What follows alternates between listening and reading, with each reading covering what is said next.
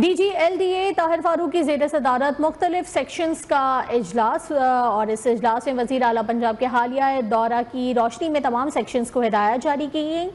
आपको आगाह करते चले इस हवाले से कि हुकाम ने ब्रीफिंग दी कि एल डी ए ने अब तक 800 मिलियन से ज़्यादा रेवेन्यू इकट्ठा किया है।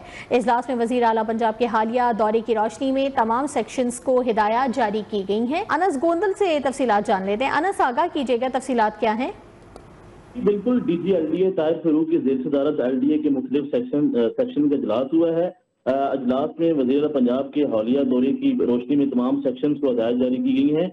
वज़ीर पंजाब मरीम नवाज़ शरीफ की हदायत की रोशनी में सर्विस डिलीवरी को मजीद बेहतर किया जाएगा और वन विंडो सेल पर शहरियों को रिलीफ फ्राहम करने के लिए आई टी बेस्ड इकदाम में तेज़ी लाई जाएगी। और उसके साथ अगर बात की जाए तो D G L D A Farooq की सदारत शहरियों की सहूलियात के लिए रहायशी नक्शों की मंजूरी को जल्द ऑनलाइन किया जाएगा और इजलास में टाउन प्लानिंग और मेट्रोपोलिटन विंग को उनसे मुतल टास्क सौंपने, सौंप दिए गए हैं।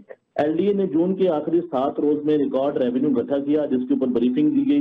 गुजशत माली साल के आखिरी सात रोज में दो इशारिया पाँच अरब से ज़्यादा के जो चलान है, वो जनरेट किए गए जबकि पाँच सौ छब्बीस मिलियन का रेवेन्यू इकट्ठा किया गया।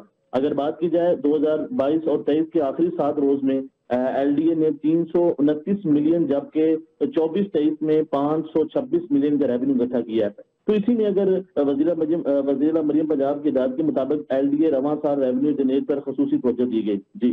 बहुत शुक्रिया, अनस गोंदल।